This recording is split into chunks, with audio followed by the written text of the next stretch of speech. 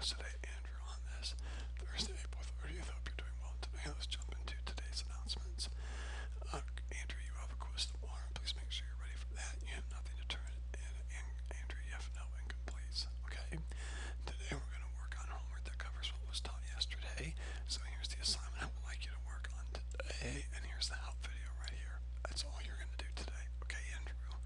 Uh, 13 and 14 are pretty challenging. So, um, feel free to use the help video all that you need to. Now, this assignment does need to be turned in sometime today, and Andrew.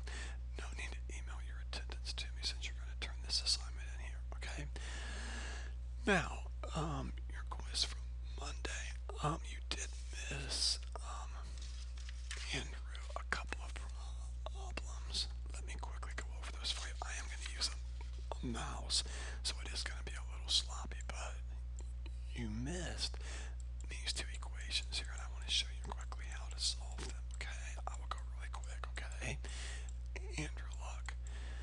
Anytime you have an exponential equation, that's an equation that has a variable up in the exponent like this, the first thing you always want to try to do is write both sides with the same base, if that's possible.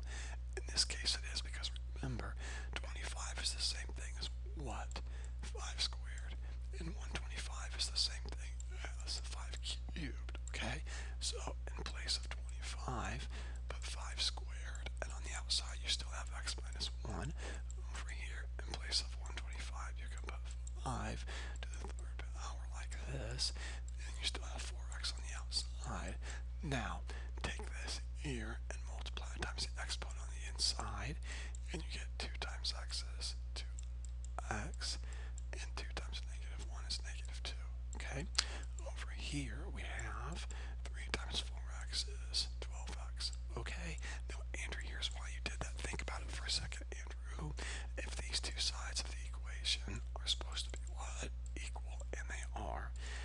And if your bases here are the same, then that means your exponents have to be the same also. So we can basically cross off those bases.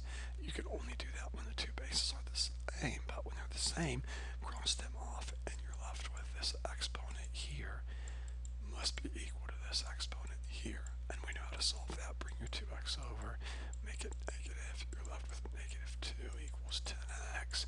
Divide both sides by 10 and a negative over a positive is negative. And of course, your 10s over here cancel. And there's your answer. All right. Um, hold on one second. My alarm is going off. Okay, there we go. All right. So that's that problem. Now, um, Andrew, you also missed this one here. And I'm not sure why, because you got number five right, which was pretty much like this problem here. But anyways, here we go. Bring the five over, make it positive. Now you did that, Andrew. You did step one, okay? You did that.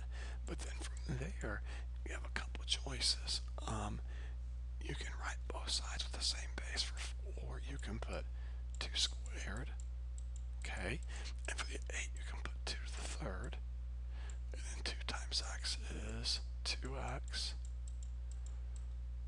And then look, your bases are the same, cross them off. You get 2x equals 3, divide both sides by 2, and x equals 3 halves, or 1.5, and that's fine. Uh, and if I've said Chris, I'm sorry. I'm sure I do the same thing to him too. Andrew, that's fine, okay? But there's another way to do this too. Your unknown, your not your unknown, your base of your unknown is 4. So, take the logarithm